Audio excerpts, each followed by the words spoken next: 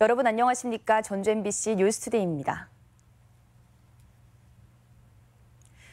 석 달 전 유흥주점 방화 사건으로 수십 명의 사상자가 나온 군산에서 또다시 주점 방화가 발생했습니다.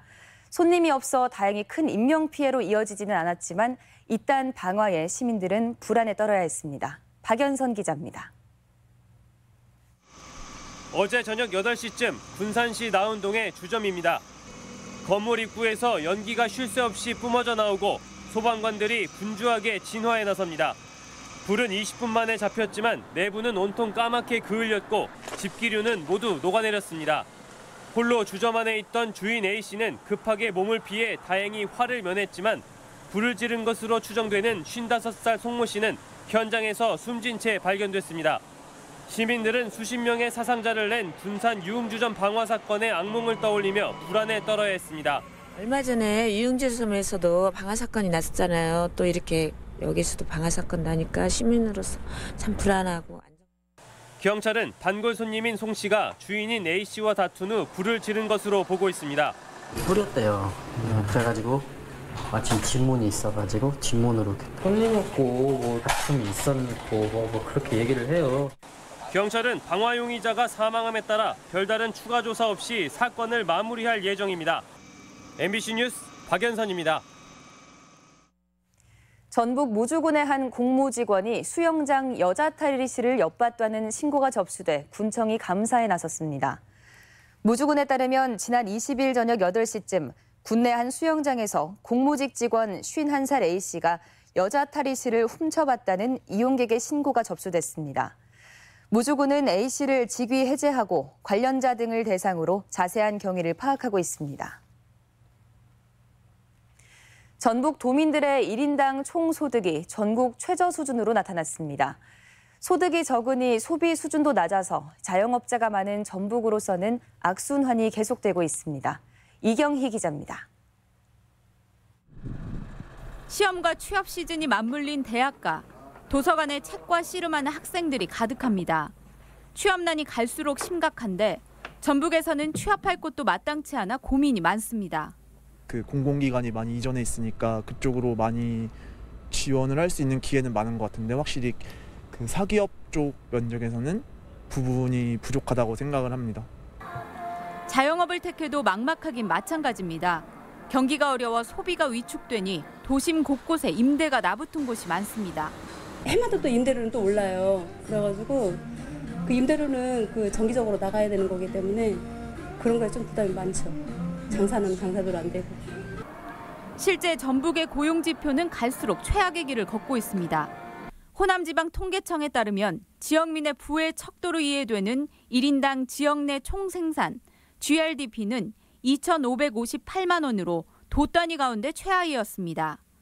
1인당 벌어들이는 지역 총소득 역시 전국 광역자치단체 가운데 꼴찌인 2,356만 원으로 나타났습니다. 일자리 불균형도 매우 심각한데 청년층의 고용률은 32.7%로 전국 최하위. 비정규직 근로자는 24만 5천 명으로 전체 임금 근로자의 41%에 달했습니다. 소득이 낮으면 쓸 수 있는 돈이 적을 것이고 다른 지역에 비해서 계속 경제적으로도 낙후되고 교육적으로도 열악해지고 문화적으로도 뒤떨어지게 되고 모든 게 그 악순환의 구도에 우리가 끌려가게 되는 전북의 경제 지표가 최악으로 치닫고 있지만 이를 개선할 경제 정책은 찾아볼 수 없어 위기감이 더욱 고조되고 있습니다. MBC 뉴스 이경입니다. 국회 대정부 질문이 시작되면서 전북 정치권의 역량이 시험대에 오르게 됐습니다.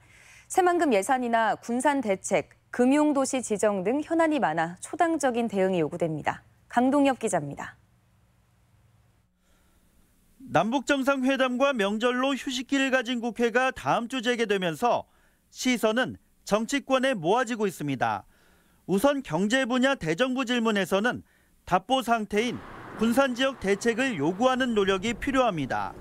전북 정치력의 시험 때는 다음 달 10일부터 시작되는 국정감사가 될 전망입니다. 2023년 잼버리 대회에 앞서 공항과 고속도로 등 새만금 기반 예산 확보가 절실한 상황. 평화당은 정동영 대표가 국토교통위로 상임위를 이동해 지역 현안에 힘을 실을 계획입니다.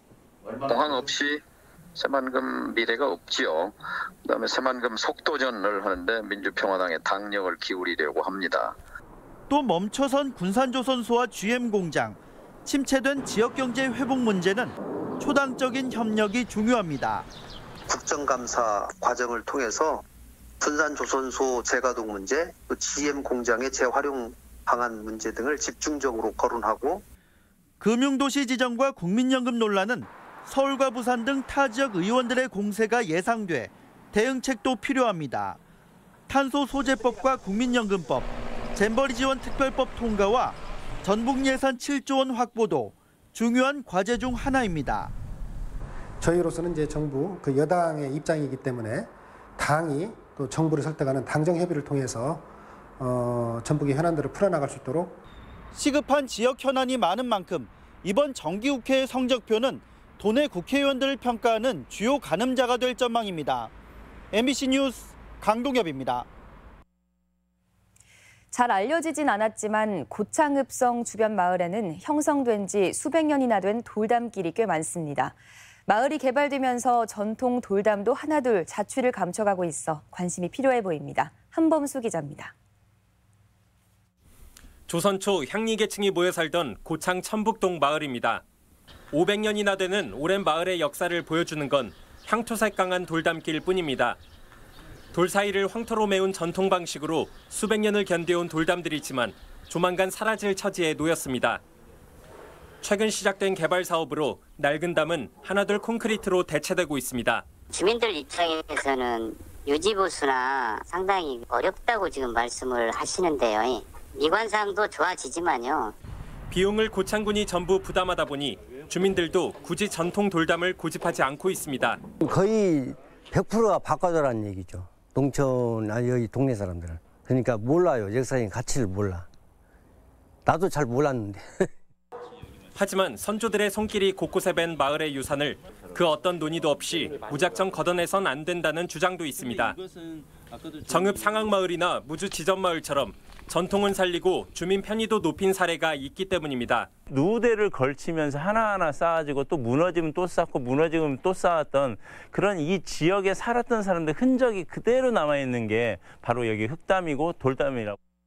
고창군은 12월까지 마을의 모든 개발을 마무리 짓겠다는 입장이어서 생활 유적인 돌담의 존속 여부가 주목되고 있습니다. MBC 뉴스 한범수입니다. 남북이 다음 달 이산가족 면회소 상시 운영 협의에 나선 데 대해 시민단체가 환영의 뜻을 나타냈습니다. 전북 결의 하나는 이산가족이 고령인 만큼 남북 간의 논의가 면회소 외에도 서신 왕래와 화상 상봉으로 확대되길 희망한다고 밝혔습니다. 도내 이산가족은 980여 명으로 전라북도는 상시 면회소가 운영될 경우 이산가족에 대한 지원 방안을 검토한다는 방침입니다. 저출산의 영향으로 전북 지역 학생 수가 해마다 줄어들 것으로 예측됐습니다. 전북교육청의 학생 배치 계획에 따르면 내년 초중고 학생 수는 올해보다 6,900여 명 감소한 20만여 명이며 2023년에는 18만 명까지 줄어드는 것으로 전망됐습니다. 도교육청은 학생 수 감소에 맞춰 학급당 평균 학생 수를 올해 30명에서 2023년에는 26명까지 줄인다는 계획입니다. 다음은 우리 지역 행사와 문화 소식입니다. 춘향전을 현대 뮤지컬화한 거리 공연 남원 예촌의 사랑가가 내일 남원 예촌 광장에서 펼쳐집니다. 다양한 창작 발레 작품을 선보이는 전북 발레 페스티벌이 내일 우진 문화공간에서 열립니다. 지역 영화인들의 작품을 중심으로 상영하는 Made in 전주가 오늘 전주 디지털 독립영화관에서 운영됩니다. 익산 시민들을 위한 숲속 작은 음악회가 오늘 산림문화체험관에서 마련됩니다. 국민민속국악원의 상설 공연인 토요 국악 초대석이 오늘 고준석 적벽가로 마련됩니다. 어진 박물관은 오늘부터 이틀간 전주 경기전에서 태조 어진 봉안 축제를 개최합니다. 꽃 무릇과 함께하는 선운 문화제가 오늘과 내일 고창 선운사에서 펼쳐집니다. 오늘부터 이틀간 서학동 예술마을 일대에서 다양한 문화 프로그램으로 꾸며진 예술마을 길꼬내기 행사가 열립니다. 전국체전 성공 개최를 기원하는 제1회 익산시민 자전거 라이딩 행사가 오늘 만경강에서 열립니다. 임신과 출산, 양육에 관련된 정보를 한 곳에 모아놓은 육아 박람회가 내일까지 전주 화산체육관에서 열립니다.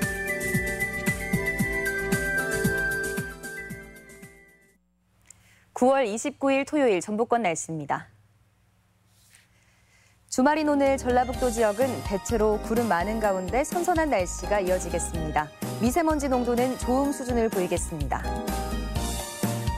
지역별 오늘 최고 기온입니다. 전주 26도, 임실 25도, 동북권은 무주 24도, 장수 23도, 서해안권은 군산과 부안이 26도 등을 기록하겠습니다.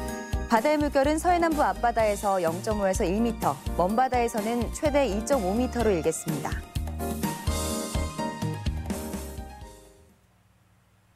전주 MBC 뉴스투데이를 마치겠습니다. 시청해주신 여러분 고맙습니다.